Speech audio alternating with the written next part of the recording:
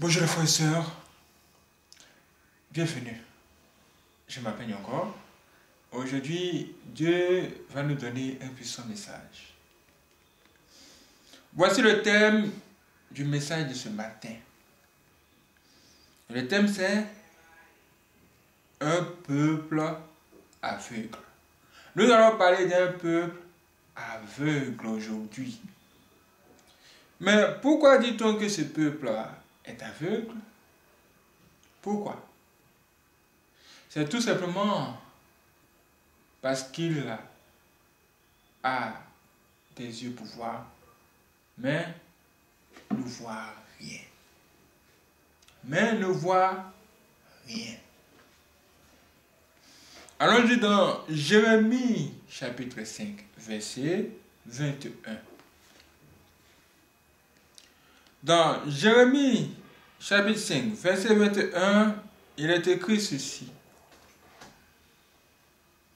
Écoutez ceci, peuple insensé et qui n'a point de cœur. Ils ont des yeux et ne voient point.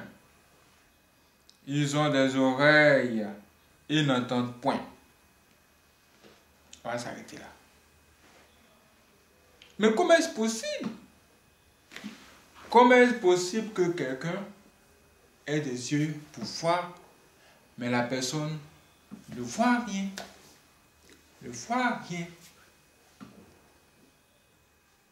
La question que tu dois te poser sans doute c'est mais qu'est-ce que la personne doit voir qu'elle ne, ne voit pas?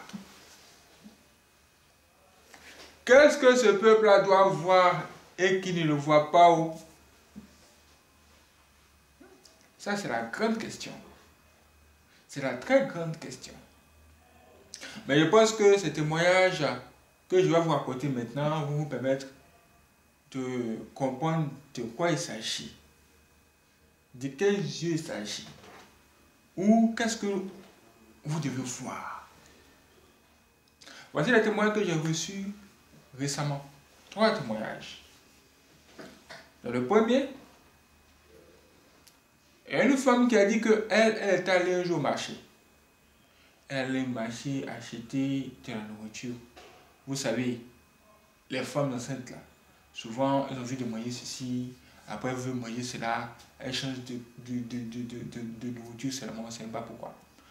On dit que oh, c'est parce qu'elles sont enceintes, c'est comme ça. Et ce jour-là, c'était elle-même qui s'était déplacée au marché. Elle dit oh, je vais acheter de la bonne nourriture là-bas avec de la viande elle a acheté cette nourriture-là chez une femme.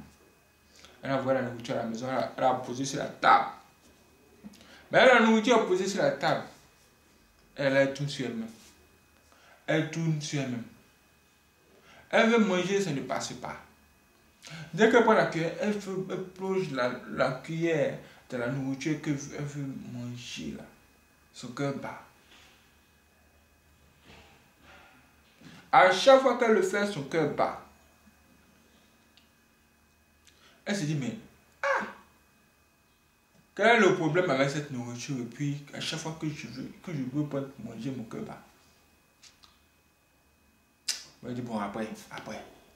Voici comment elle a laissé la nourriture sur la table, elle a tourné, tourné à gauche, à passé à droite, jusqu'à la nourriture s'est décomposée. Là, là, elle ne pouvait plus manger elle était obligée de jeter la nourriture. Et elle s'est dit que bon, il faut qu'elle retourne au marché encore pour faire d'autres achats, acheter d'autres choses. Voici comment elle arrive au marché ce jour-là. Et elle voit les gens autour d'une femme. Elle dit, mais ah, que se passe-t-il? De sa curiosité, elle allait voir clair dans ça. Elle va, regarde, et qu'est-ce qu'elle trouve? Qu'est-ce qu'elle voit? Elle voit la femme qui lui a vendu la nourriture. Les gens sont sur elle. Les gens veulent la frapper. On dit, mais pourquoi? Elle pose la question aux que, que se passe-t-il? Pourquoi voulez-vous frapper la femme? C'est là, les gens vont lui, conter cette histoire. Qu'est-ce que les gens vont lui dire? Les gens vont lui dire que cette femme-là vend de la, de la chair humaine aux gens. C'est-à-dire, elle prend des êtres humains qu'elle transforme en des animaux, elle tue et elle va revendre la chair ici. Mais ce jour-là, elle s'est trompée. Elle s'est trompée, elle a pris quelqu'un qui se trouve dans leur cour. C'était un jeune homme. Un jeune homme bien respectueux. Le jeune homme était là tranquillement en train de dormir. Il était en train de dormir dans sa chambre, mais il ne savait pas que dehors, là, il y avait un mouton.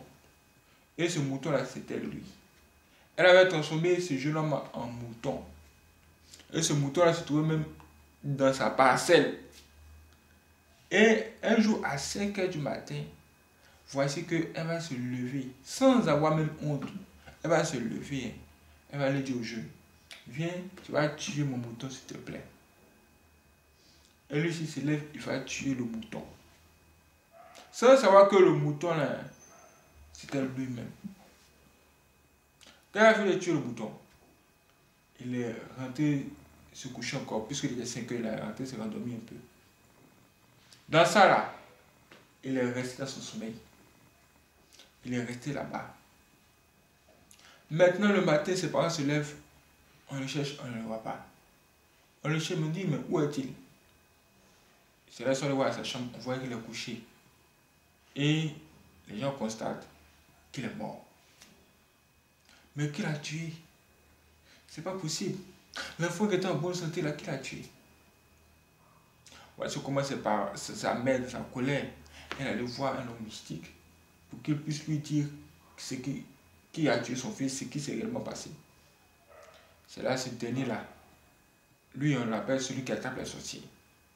C'est là, va révéler tout ce qui s'est passé et aller au marché là-bas pour confronter cette, cette dame-là. Pour dire que voici, tu as tué quelqu'un. Pourquoi tu tué la personne? Avec des pouvoirs mystiques, toutes les choses qu'ils ont fait là-bas, elle a commencé à se confesser. Et c'est là qu'elle a expliqué ce qui s'est passé. Elle dit que c'est elle qui l'a fait.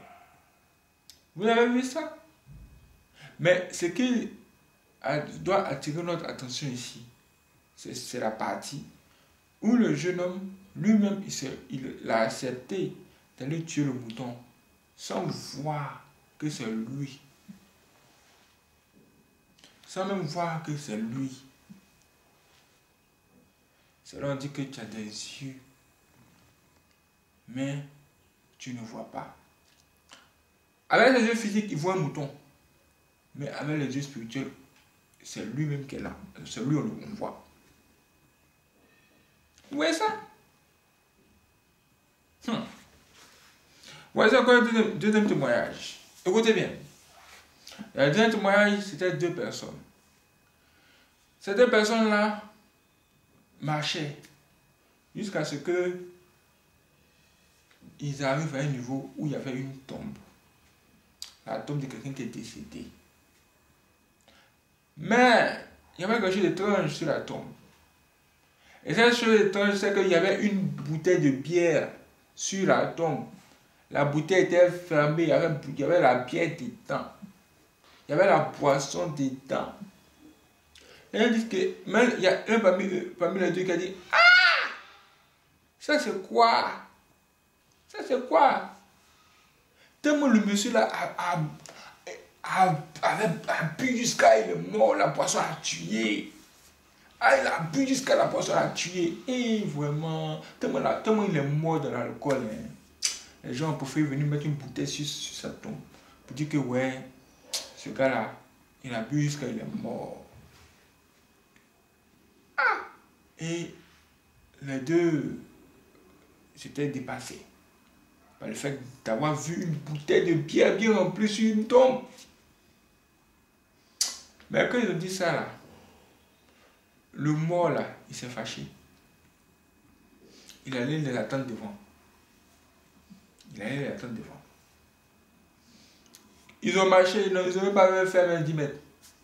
Voici un homme les approche. Le monsieur les salue tranquillement. Et il pose la question à celui qui a parlé. Il dit, il dit, il dit, il dit, il dit monsieur, moi j'étais très malade et je suis mort. Maintenant, toi, tu dis que c'est la boisson qui m'a tué. Tu étais là.